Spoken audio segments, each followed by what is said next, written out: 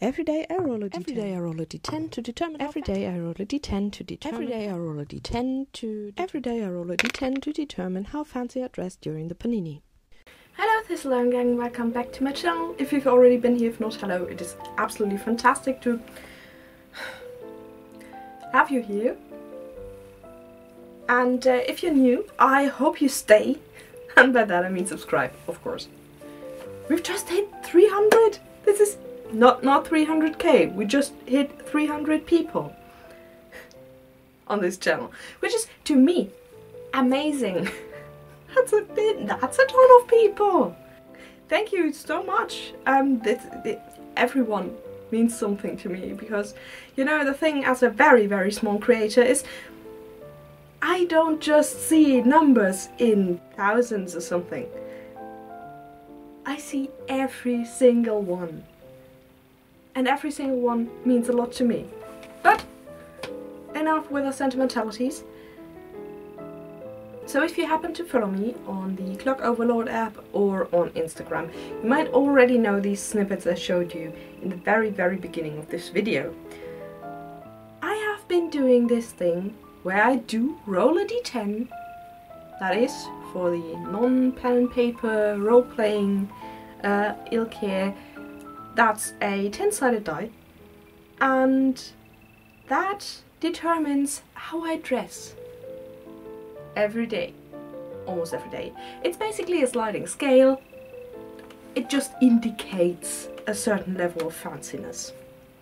Somewhere between staying in my pajamas, if I don't have to go out. If I have to go out, I probably just, you know, throw on my equivalent of a pair of um, sweatpants. I do not own sweatpants, but I do own leggings. And a full-blown ball gown with everything. Now how did that come to pass and why am I making this video if it's already all on TikTok and or Instagram? Okay, so, story time.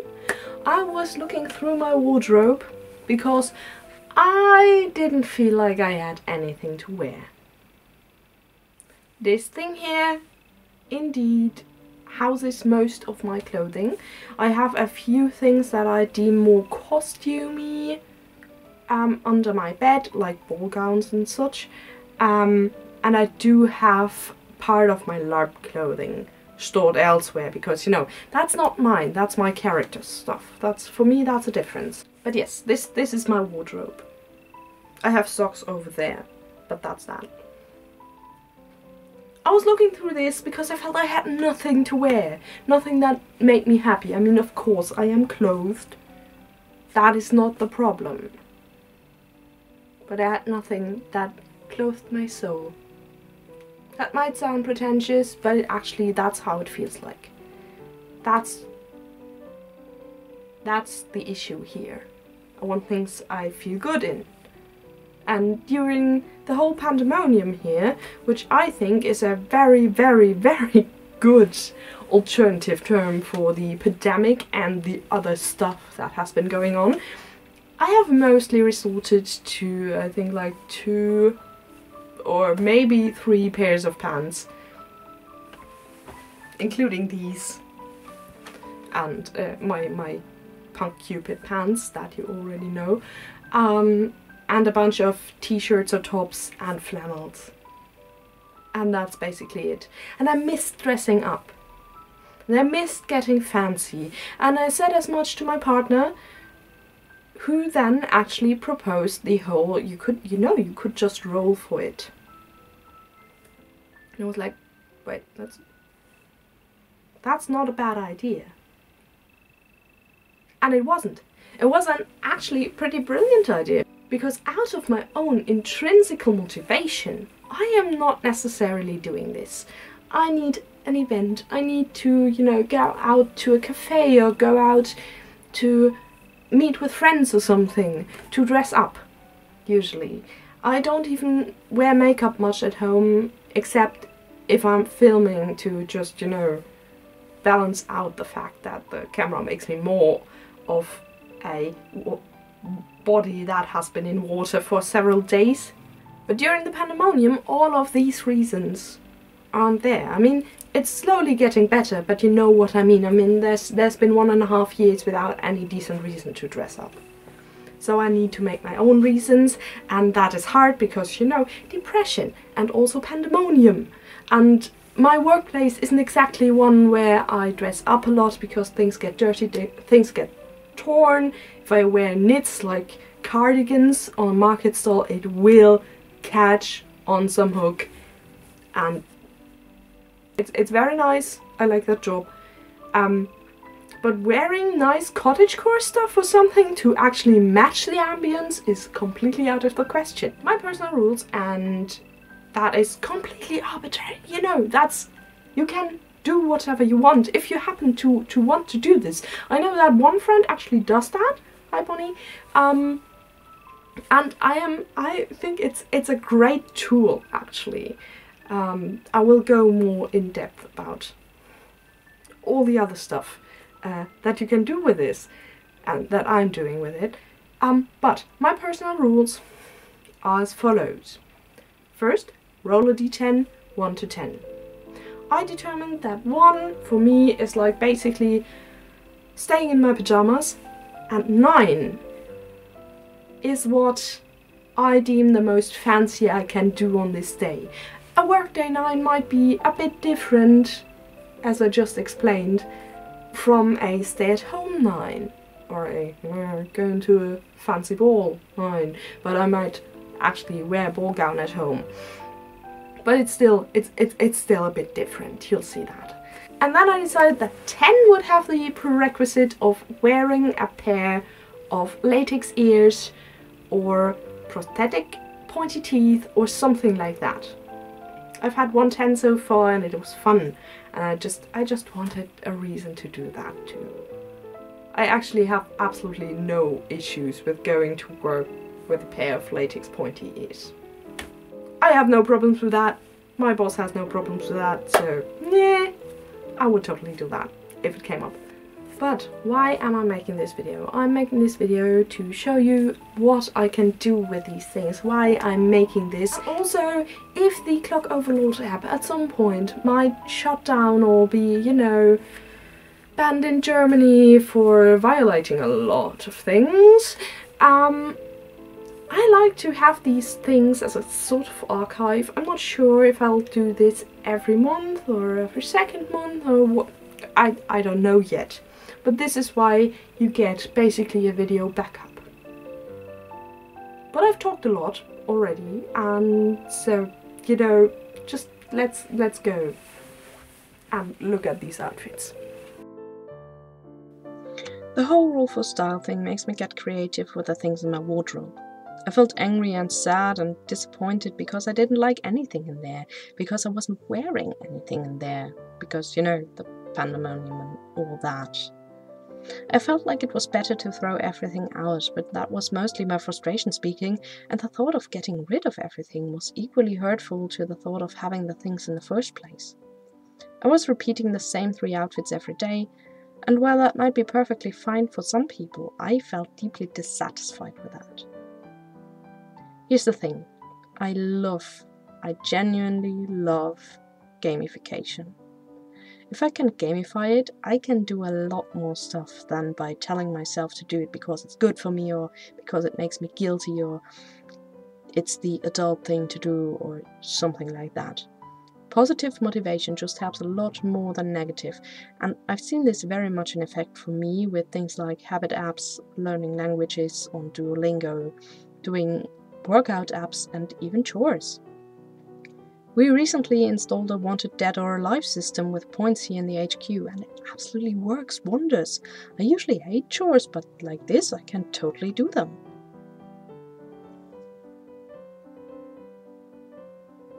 This challenge helps me to figure out if I'm unhappy with my wardrobe because I don't have any ideas how to style it, if I'm unhappy because I don't wear most of it, or if there's actually something lacking there. For example, I already found out that I want more cottagecore compatible things. I threw out most of my Mori kei wardrobe a few years ago and that filled a similar gap. that I want to jump onto the whole stays and corsets as daily wear trend really badly, and that I desperately need a pair of fitting non-wool professional pants. And I also don't have any blush pink antique looking bling, and that's just sad. I can assess if things need changing, fixing, or simply letting go, because I actually wear them for once. The pandemic has been going on for over a year now. Bodies and tastes change within that time, and that is perfectly okay.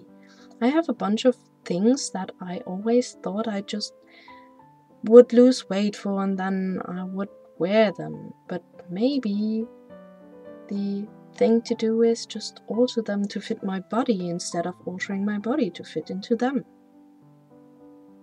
I can even analyze what my favorite pieces are according to the times I've worn them and see if I maybe want more of those or more of the features that make them my favorites in the first place, like texture and material and cut.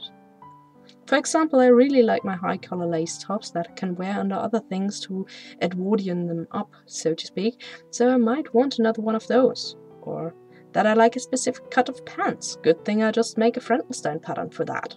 This is a shameless self plug. Helping me with this is my fashion journal, in which I not always, but at least sometimes, keep record of what I was wearing, what style needs I had that day, and what I felt like I needed to make the outfit of the day better, and also how happy I was with the overall results. When something keeps coming up, like a pair of pastel or otherwise cute trainers in the I need this to make it better category, I'll put it into a more permanent list and keep an eye out for it. I am very much willing to make a whole video about my style journal thing because there's more to it than just this one table, but it would not fit into this video in, in its entirety because it requires a bit more filming from above onto the journal and then I couldn't show you the outfits. But if that interests you, please leave a comment and I will I will readily make that video. As time goes by, I will hopefully be able to identify my own seasons, as I call them, as well. Styles tend to shift and repeat throughout the seasons for a lot of people, and I know that I gravitate more towards a dark academia influence in autumn, and maybe something witchy, and I at least want a ton of velvet and shabby Dickensian street urchin stuff in winter, but I'm sure I'll be able to differentiate more if I keep this up. Maybe it will help with my wardrobe, maybe it will just help me put things into neat little boxes and label them and make for an interesting personal statistic. I don't know, but I'm keen to find out. But before you think that you will now be able to determine when I filmed a video by looking at the outfit, I'll tell you that the makeup is the thing you would actually have to look at. Because um, I'm far more inclined to redress and maybe just put on another shirt than to do my makeup again. However, this challenge has led to me experimenting with makeup more, which is really nice because I keep buying the stuff for the lovely colors but never really use it.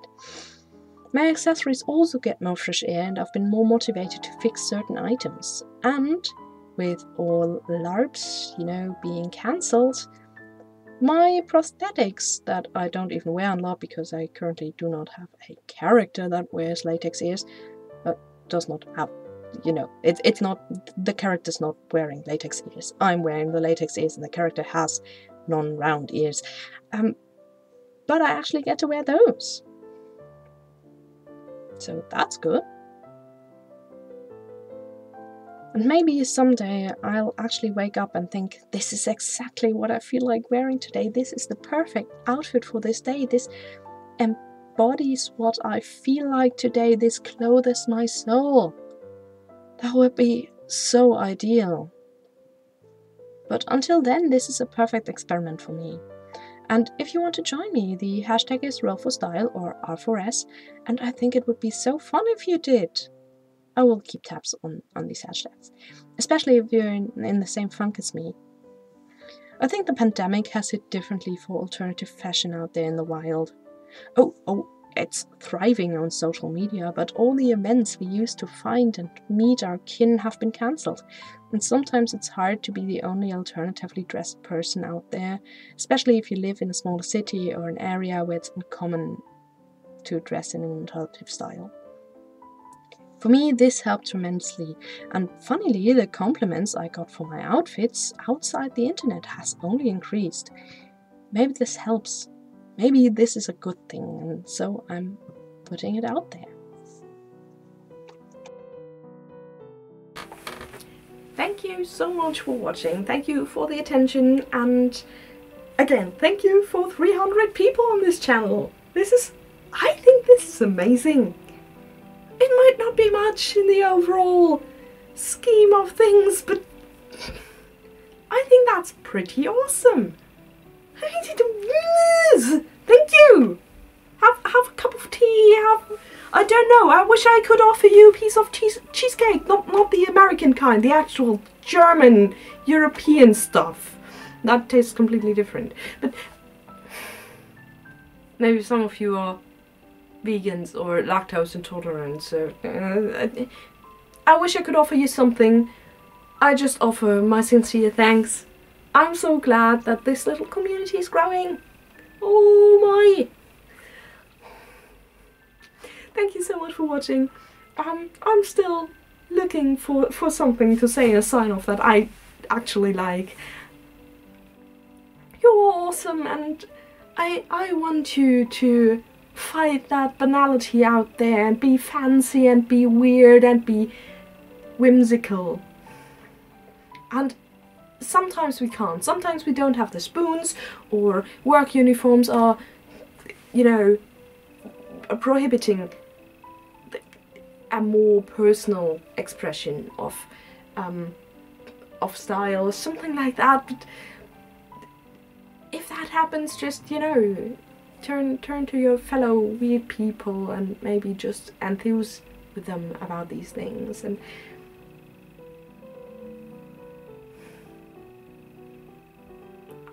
hope I can push a tiny bit of that banality of everyday adult life and everyday modern life away for you with these videos. And with these very sappy and very personal words, I'll leave you alone. I'll see you next time. Thank you again so much for watching. Bye.